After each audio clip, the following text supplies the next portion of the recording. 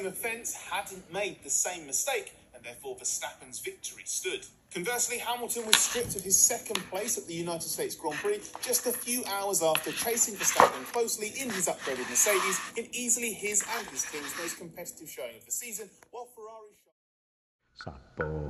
am se den tu man thu lai bất tử ye sappo nam mô hành nai than nai tuần nai dạ dạ. Nam mô li ye po lo ke de se po na ye po te san do po ye mo sa do po ye mo ho ja lo ni ja ye an sa po nai pa ye so ra na than nam mu